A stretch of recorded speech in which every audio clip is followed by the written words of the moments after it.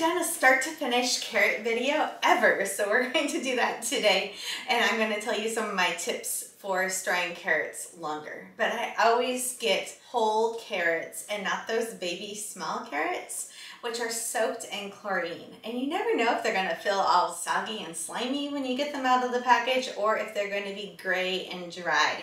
So I get whole carrots and I wash them and then normally I store them in sticks, which I put into the refrigerator. We will show you all these different processes as we go, but carrots will stay snappy for um, at least a month in the refrigerator. There's a short little clip of me surprising myself with a carrot that like it made me laugh really hard during a video one time. I snapped it and it scared me because it like snapped off. But anyways we're going to do the same vinegar wash that we use for most items and it will be water in my bowl and it can be tap water for this but water in your bowl and 5% distilled white vinegar. 5% will kill off the mold spores E. coli listeria and any other harmful pathogens. Make sure it's 5% if you're here in the United States, not the 7%, which is used for cleaning your showers and your laundry. If you're in other countries, most of the time it will just say white vinegar, and that is totally safe for your produce. Just here in the United States, don't use the 7%.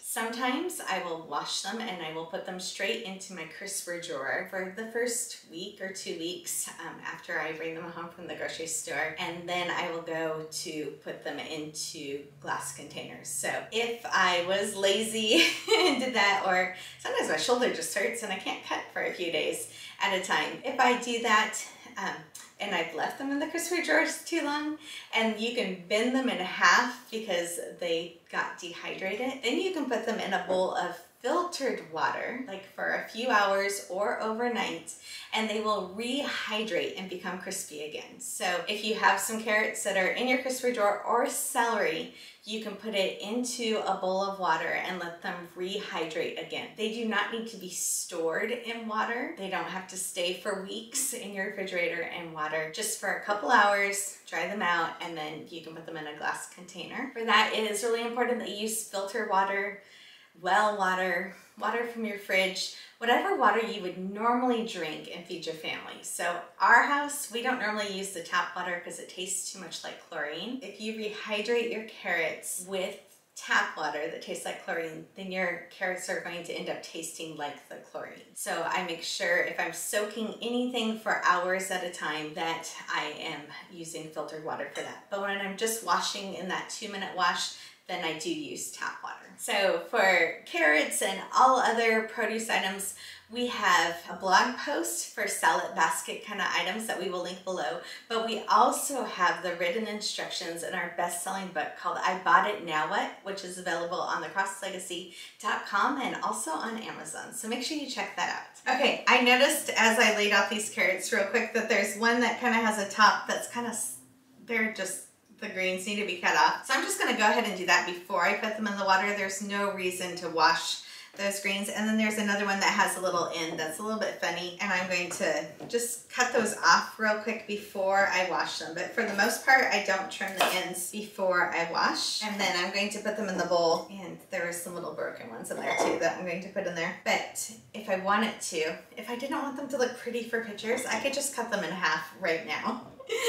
I'm gonna leave them whole. The other thing is, is as you're putting them in the bowl, if they're too big for the bowl and they're like sticking out, then I would just soak them for two minutes this way and then just flip them over again and soak them a little bit longer the other way. So we're gonna see if we can get all of these to fit in here. We should be able to. Okay, I'm gonna fill this up with water and then I'm going to put a quarter cup of distilled white vinegar in here and set the timer for two minutes. As much as you need to stand here for the two minutes when you're doing things like strawberries or blueberries and make sure that they're rotating on other sides because they come up to the top and you want to keep bobbing them down. For the most part, carrots will stay sunk into the water and so you don't have to do that. So you can just set the timer for two minutes and actually walk away from the bowl if you need to. And then I just wanted to say, I might show you the pot, but if I have like a 20 pound bag of carrots, I just do it in a larger stock pot and still do the 10 cups of water to a quarter cup of vinegar. So like half a cup of vinegar is what I would end up using if I was trying to wash like 20 pounds of carrots at a time. So you can just add to the ratio. So you should see how nasty this water is. This is another reason why you won't see me very often using the same water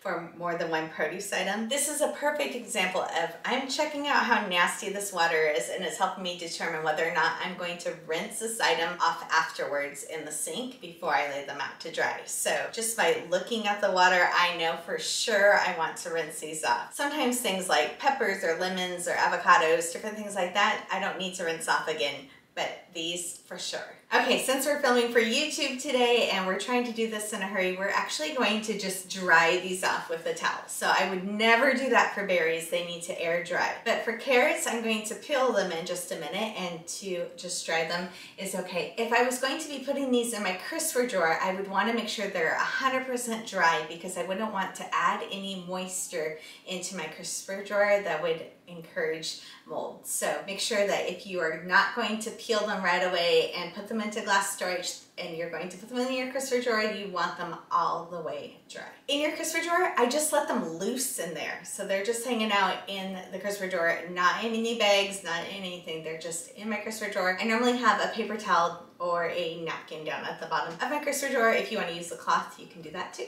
Okay, so the carrots are dry. I'm going to cut off the tops. I like to cut off the bottoms too. And since now they're clean carrots, I am going to peel these. And then I put the peels in a gallon size bag that I keep in my freezer. And I keep these for making stock. So we have a recipe for that that we will share. We actually have a pot of um, turkey stock going right now over here on the other counter because I always need stock around, so sometimes I can it and sometimes I just keep it in the freezer. But you need carrot peels and celery ends and different things, so make sure that you're saving your scraps for those, but make sure they're clean scraps. I'm gonna throw this into the freezer and the next time I make stock, I will have veggie scraps all ready to go. Most of the time I will store carrots in these Pyrex Snapware containers that have a plastic lid, and no paper towel is needed for these, so I just put them right in the refrigerator and they are great to grab out for snacks. Mike loves eating carrot sticks with ranch um, as a snack all the time, but it is easy to keep them in the stick size forms and I can just chop them up smaller